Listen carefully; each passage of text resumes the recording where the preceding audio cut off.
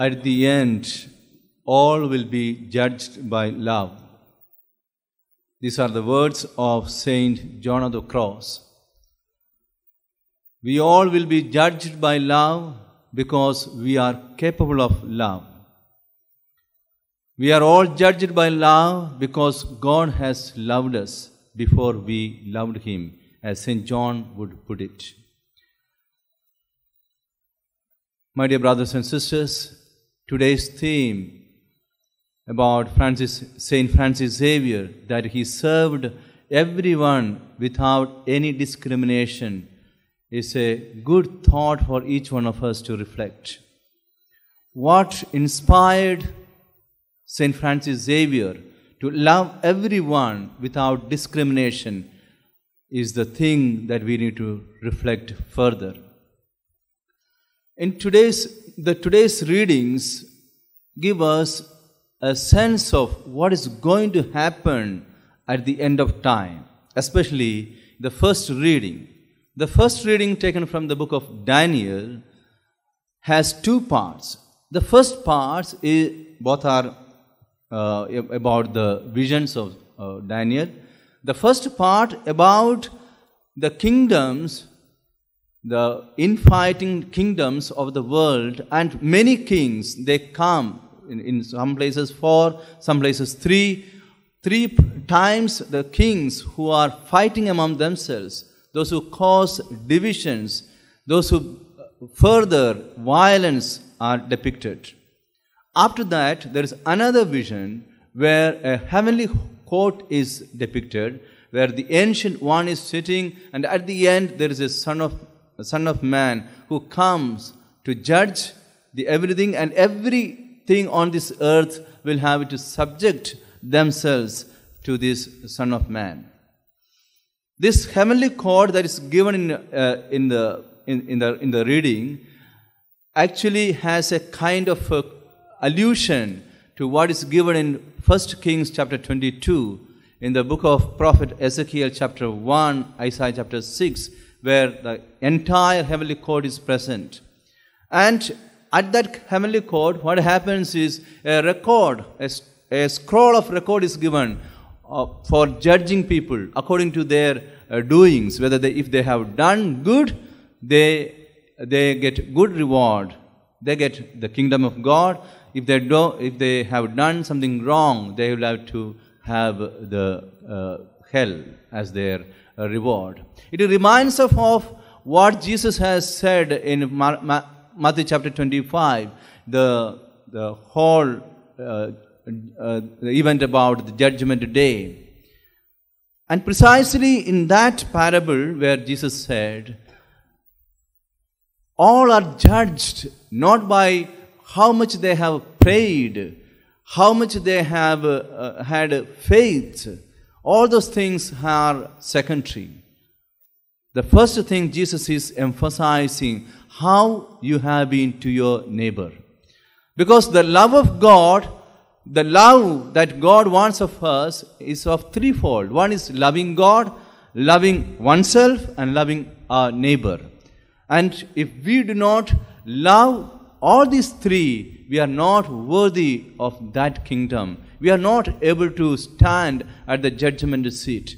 My dear brothers and sisters, we might think that the judgment uh, time is, is going to happen at the end of time. Surely there is a time at the end of the world, at the end of this uh, age, there will be a, a general judgment but we do not know how it is going to happen. We have only some indications that this, will, this will be the uh, way as, as it is being depicted in today's uh, first reading, and as I said in Matthew chapter 25. We have some glimpses of what is going to happen. But, but it is sure that we all, as St. John, the, John of the Cross said, we all will be judged by love. And this is what inspired St. Francis Xavier. In 1542, there was a famine, a severe famine in Goa, and he worked tirelessly to reach out to, uh, to everyone and to provide uh, provisions for the people who, the whomever he could. And secondly, he in, uh, in Malacca, he he served the people with a, with a self giving love, those who were suffering from a smallpox. What inspired? Why these saints insist on love? Why these saints are going on love? Love is the only motive. In heaven, there is only one thing that is remaining. St. Thomas Aquinas says, Till then, till we reach heaven, the knowledge, the intellect will work. But once we are in heaven, only love works. There is no other thing. When we are in the kingdom of God, when we are in when, when we are in heaven, only love works. There is nothing else works. No prayer, no faith, no hope, no uh, no uh, trust, but only love, charity. My dear brothers and sisters, it is easy for us to think that at the end of our li- my life, I can give some account of my doings, whether I have done good things or wrong, or have done some, some bad things. But it is so much challenging to live our life in view of that kingdom with that love that has inspired the, the saints in our heart. It is very difficult because today we are living in a world that teaches us so much of self love some, when, when, it, when the uh, self love becomes too much, so much, it becomes uh, selfish love. This world, this today's world, and today's philosophy of this world teaches us to love oneself even at the cost of the other person.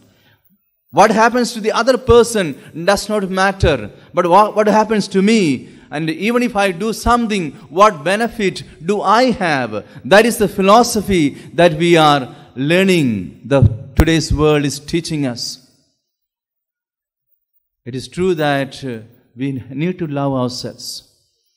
But even when we love ourselves at the cost of others, we are violating the divine rule.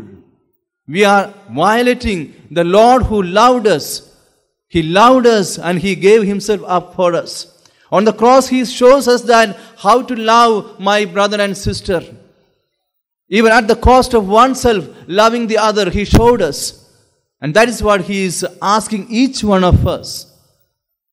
Whether we are ready to love my brother, my sister, even giving up myself, giving up my desires, giving up my ambitions, giving up my comforts. That is the challenge that we are uh, given. Am, am I able to do that? The second thing that, that we see in today's world is that purposely people cause divisions. Instead of love, enmity, animosity is growing all over the world. Everything, everything is because of selfishness. Whether it is my family or my community or my society or my country or my party, my region, my culture, even at the cost of the other, I am ready to excel. I am ready to satisfy my, uh, gratify my desires. If that is the case, we will never be able to love. We make our Lord defeated. The great lesson the Lord has taught us from the cross the great lesson the saints have taken in their heart with the, the, that grace, with the, that same lesson, the saints lived in this world and showed us how to live, live in this world with that love and to reach heaven will be defeated. Today, the onus on each one of us. It all depends on how we take this, this commandment of love, how we take the, the, saint, the saints' lessons for us, how we take St. Francis Xavier's uh, model for us. It is, depends on each one of us.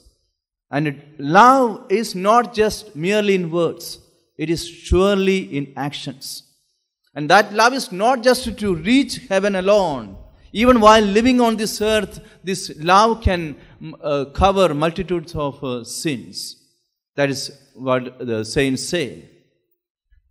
My dear brothers and sisters, let us live in the kingdom of God, as Jesus would say, today, now, here and here and now, let us live. Unless we, we are able to live in this world now in view of that kingdom, we will never be able to reach that kingdom. We will be able to stand before the judgment seat, surely. Everyone has to.